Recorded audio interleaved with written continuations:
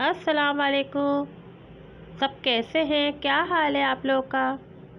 आज मैं बना रही हूँ गवार फली की सब्ज़ी आलू के साथ।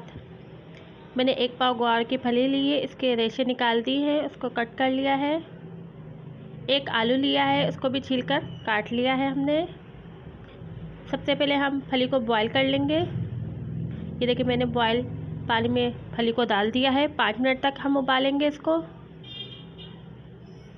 इसमें हम थोड़ा सा नमक डाल देंगे।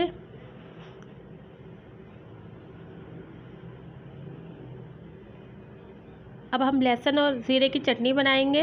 ये देखिए, मैंने एक टेबल स्पून लहसुन लिया है। हाफ़ टी स्पून कुटी हुई मिर्चें ली हैं, नमक लिया है, ज़ीरा लिया है एक टीस्पून। इन सबको हम पीस लेंगे मोटा मोटा एक कढ़ाई ली, उसमें चार टेबल स्पून मैंने ऑयल डाला है। ये देखिए, मैंने चटनी पीस ली है। मैंने ज़्यादा बारीक नहीं की है। अब इसको हम भूनेंगे। आँच हमने दरमियानी रखनी है।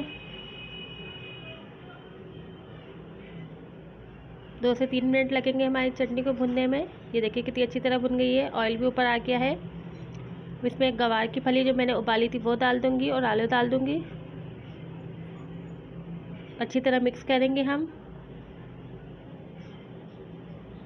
गवार की फली। बहुत मज़े की लगती है, आप इस तरीके से बनाएँ तो। हर कोई गवार की फली अपने स्टाइल से बनाता है, लेकिन मैं ज़्यादातर लहसुन की चटनी के साथ गवार की फली को बनाती हूँ। बहुत मज़े की लगती है। ये देखिए, मैंने आलू गलने के लिए हाफ़ कप इसमें पानी डाला है। अब मैं इसको ढक दूँगी पाँच से सात मिनट के लिए, ताकि हमारे आलू अच्छी तरह गल जाएँ और हमारी सब्ज़ी भी भुन जाए।